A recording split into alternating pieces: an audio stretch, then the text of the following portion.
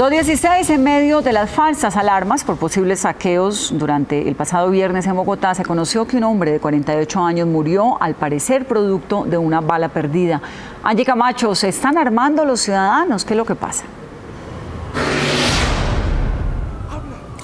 En palabras de expertos, la respuesta es sí. Preocupa, aseguran que la mayoría de estas armas estarían quedando en ciudades capitales, en manos de civiles, pero lo que preocupa es que muchas veces se trata de armas que no tienen registro, incluso que no son legales. Lo que preocupa es que esto dificulta el accionar de las autoridades. Imágenes como estas, en las que con pistola en mano Ciudadanos protegían sus bienes y su integridad. Fueron una constante que prendió las alarmas luego que en Bogotá el pasado viernes corriera el rumor que se estaban presentando saqueos en algunas viviendas.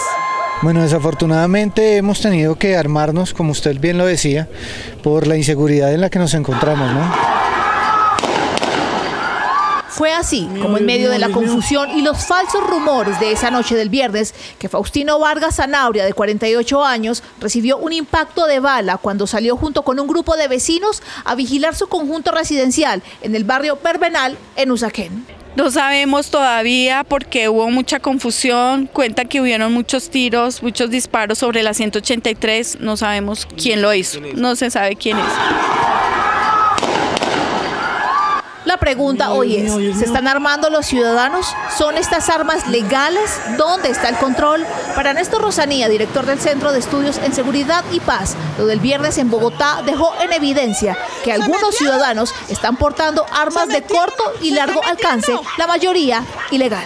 Primero, que el nivel de la violencia está creciendo, hay más armas en las calles y eso nos pone en riesgo a todos. Y lo segundo, que bajo un argumento de legítima defensa cualquier persona puede terminar siendo herida o asesinada. Otras miradas apuntan a que el tráfico ilegal de armas podría ser la clave de este fenómeno.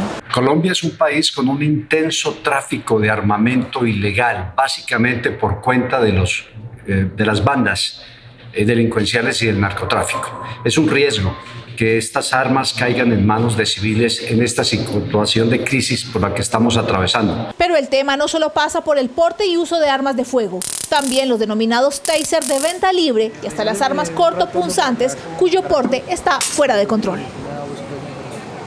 Pero otro punto medular que deben tener en cuenta las autoridades es el ingreso de armas que llega a los centros de las ciudades, al mercado negro, armas que están siendo adquiridas por los civiles y no necesariamente reportadas. Información desde el centro de Bogotá, Angie Camacho, Noticias Caracol.